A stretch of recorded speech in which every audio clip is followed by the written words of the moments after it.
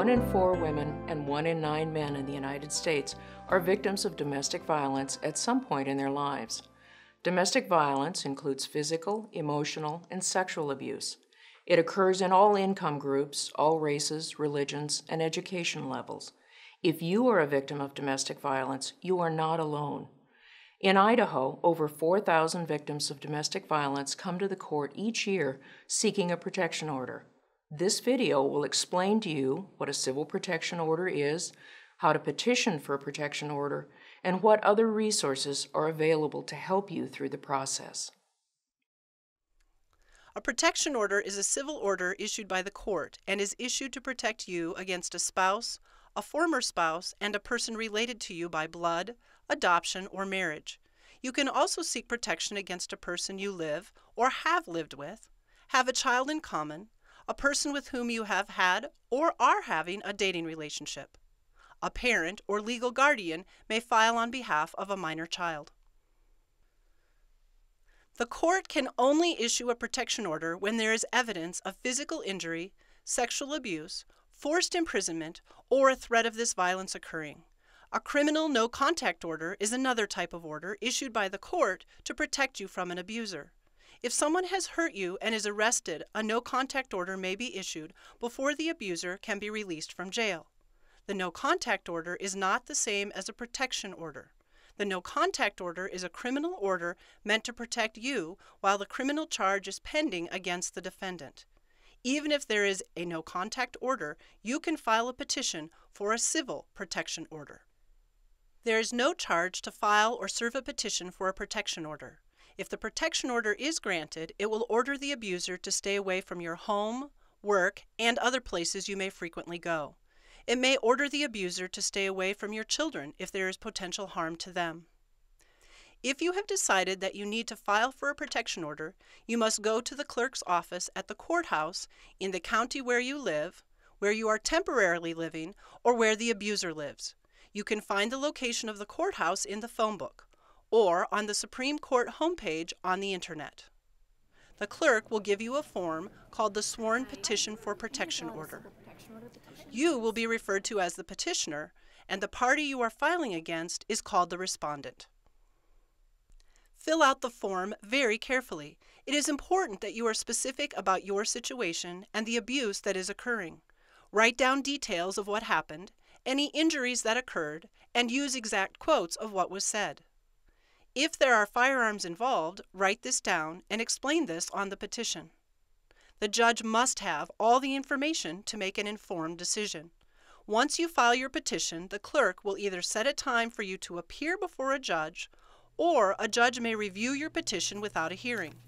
If a hearing is scheduled, this hearing is called an ex parte hearing. Ex parte is a term that means that you are appearing before the judge without the respondent present. The hearing will be set within one business day of your application. If you are in immediate danger, the clerk will try to set the hearing the same day as you file the petition. In the ex parte hearing, the judge will review your petition and may ask you to tell more about your situation. Be calm and clear. Answer the questions truthfully. If the judge finds that you need protection, a temporary protection order will be granted. This protection order will be good for up to 14 days or until the full hearing for the protection order takes place, whichever is sooner. If the respondent is in Idaho, the clerk will immediately forward the information you provide about the respondent and the protection order to the local sheriff's office. The sheriff's office needs the respondent's full name, date of birth, and address to serve the protection order. The Sheriff's Office will attempt to serve the order on the respondent within 24 hours, depending on the accuracy of the information you provide. If the respondent lives out of state, you must obtain a certified copy of the order after the hearing and arrange for service at your own expense.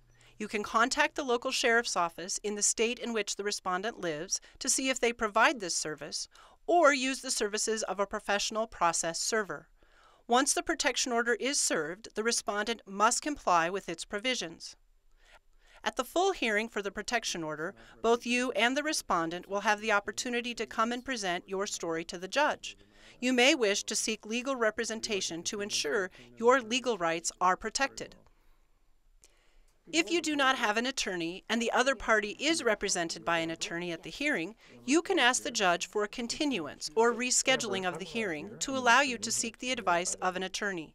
If you would like to be represented by an attorney but are unable to afford the fees, there are a number of organizations that may assist you Idaho Legal Aid, Idaho Volunteer Lawyers Program, and the University of Idaho College of Law Victims' Rights Clinic. All provide free legal assistance to domestic violence victims with low income who qualify. The Idaho State Bar also has a lawyer referral service. Many counties have an advocate to assist persons who are asking for a protection order. An advocate is a person who works for the county or a domestic violence shelter and will assist you through the process free of cost. Though the advocate is not an attorney and cannot provide legal advice, they can be a very important resource for you. The advocate can assist you in filling out your petition, guide you in preparation for the hearings, and provide needed emotional support throughout the process ask the court clerk or local shelter about an advocate program in your county. A domestic violence court coordinator in your area can also answer questions about protection orders, the court process, and resources available in the community. The full hearing is a more formal hearing. Try to find childcare so you do not have to worry about children in court. This can be a very difficult time and not a helpful environment for children to experience. It is important to be on time, Dress neatly and be ready to present your information clearly and calmly to the judge. This is an emotional subject and it may help to write down the information you wish to present. You may also wish to bring any person that has witnessed the abuse and can tell the judge about what they have seen. Evidence, such as copies of police reports, photographs, hospital reports, and recorded messages, may be useful to the judge at this hearing. If the respondent does not appear at the hearing, the protection order may be granted by default. If the respondent does appear for the hearing and contests the order, then you must be prepared to present your evidence to the court. Any changes that need to be made to the protection order can be done at this time. If you do not appear at the hearing, the protection order request will be canceled and you will have to start the process again. It is important to understand that this is a civil proceeding. Any violation of the protection order may result in a criminal charge being filed. The judge who presides over your petition for a protection order will not be able to hear the criminal case at the same time. In addition, any divorce, division of property, or child custody issues will ultimately be settled in a separate civil case. Though the protection order may set temporary arrangements for use of property or child custody, the judge that handles the divorce or child custody case will make the final decision in this area. After hearing all of the evidence, the judge will decide if by law your situation requires a protection order. If a protection order is granted, it will be in effect for the period stated in the order, possibly up to one year. The protection order must be followed by both parties. Neither of you can have contact with the other unless specific exceptions are made, such as through a third party, by telephone, or by mail. Any modifications to the protection order must be approved by the court and a written court order issued even if you and the respondent are in agreement. This is very important to remember. The protection order may also decide on a temporary basis who will reside in the residence, who will have custody of the minor children, and how the visitation of the children will be structured.